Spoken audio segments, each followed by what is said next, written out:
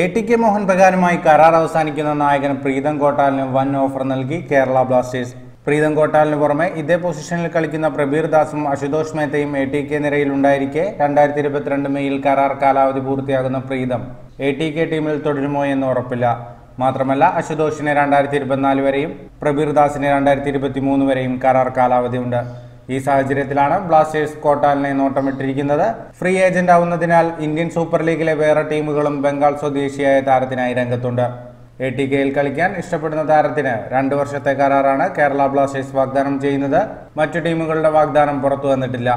A T കെയും കോട്ടാലിന് offer നൽകുന്നുണ്ടെങ്കിലും ദീർഘകാല കരാർ ലഭിക്കുന്നതിനാണ് താരം പ്രാമുഖ്യം നൽകുന്നതെന്നാണ് ടോക്കിംഗ് ഫുട്ബോൾ ടുഡേ റിപ്പോർട്ട് ചെയ്യുന്നത്. ബ്ലാസ്റ്റേഴ്സ് ഓഫർ ചെയ്യുന്നത് അത്ര ദീർഘകാല കരാറല്ലെങ്കിലും എ ടി കെയുമായി താരതമ്യം ചെയ്യുമ്പോൾ സാമ്പത്തികമായി ഗുണം ചെയ്യുന്നതാണ്. അതുകൊണ്ട് തന്നെ കൊൽക്കത്ത ടീം ഓഫർ മെച്ചപ്പെടുത്തുന്നില്ലെങ്കിൽ അവരുടെ A T K captain Kerala നിരയിൽ കളിക്കും. എന്നാൽ എ ടി കെയും താരവും തമ്മിലുള്ള വൈകാരിക അടുപ്പം ഒരു കരാറിലെത്താൻ അത്ര തടസ്സമുണ്ടാക്കില്ലെന്നാണ് സൂചന. പക്ഷേ അപ്പോഴും ഒരേ പൊസിഷനിൽ കളിക്കുന്ന നിരവധി താരങ്ങളുള്ളത് പ്രശ്നമാകും. വെസ്റ്റ് ബംഗാളിലെ ഉത്തർപ്പറ സ്വദേശിയായ പ്രീതം രണ്ടായിരത്തി പതിമൂന്നിൽ പൈലാൻ ആരോസിൽ നിന്ന് മോഹൻ ബഗാനിലെത്തിയാണ് തന്റെ പ്രൊഫഷണൽ കരിയർ ആരംഭിച്ചത്. എഴുപത്തഞ്ച് ഐ ലീഗ് മത്സരങ്ങളിലാണ് താരം മോഹൻ ബഗാൻ ജേഴ്സിയിൽ ഇറങ്ങിയിട്ടുള്ളത്. ഐ എസ് എല്ലിൽ നാൽപ്പത്തെട്ട് മത്സരങ്ങളിലും കളിച്ചു. കഴിഞ്ഞ രണ്ട് സീസണുകളിലായി നായകന്റെ ചുമതലയും കിട്ടി. ട്രാൻസ്ഫർ വിൻഡോ ജൂണിൽ തുടങ്ങി ഓഗസ്റ്റ് മുപ്പത്തൊന്നിന് അവസാനിക്കുന്നതിനാൽ പ്രീതം കോട്ടാലിന് തീരുമാനമെടുക്കാൻ ധാരാളം സമയമുണ്ട്.